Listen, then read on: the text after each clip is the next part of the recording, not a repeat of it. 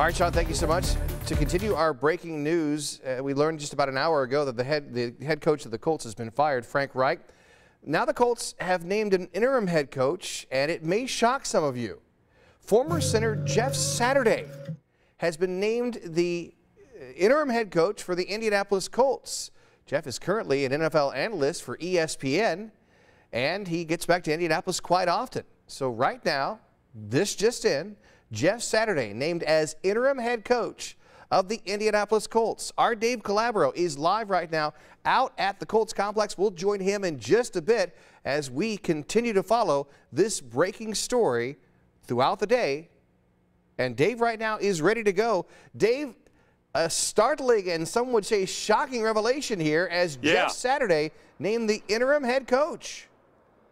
Yeah, Carlos, I'm shaking my head. I never saw, I didn't see this one coming. I don't think anybody saw this coming. Players are have uh, been coming out of the building. They had their regular meetings and they're they're uh, leaving for the day. But Jeff Saturday, who was center for the Indianapolis Colts all those years. Of course, he's in the Ring of Honor, six-time Pro Bowl player, extremely likable guy. He's done some coaching at the high school level, and now he's going to be the interim coach. It tells you how crazy things have gotten here as a Jeff Saturday now stepping in. Jeff is well liked. He's been there, done that. These guys that play on this team, these younger players, they'll respect him. Uh, Reggie Wayne, of course, is a wide receivers coach here, so uh, they're hoping that Jeff Saturday can ignite this team with eight games to go as he steps in. I'm just uh, taking a look at the information here. But again, Jeff Saturday named moments ago as the interim head coach by the Indianapolis Colts. There will be a press conference a little bit later on today. We're still waiting to see when that will be. But Frank Reich is out.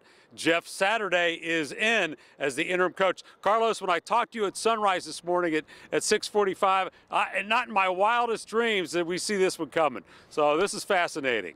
Yeah, definitely a shock uh, there, Dave. And I, yeah. once again, I mean, a guy that has had no affiliation with the Colts over the uh, last several weeks, months, and years, but is a fan yeah. favorite here at Indianapolis.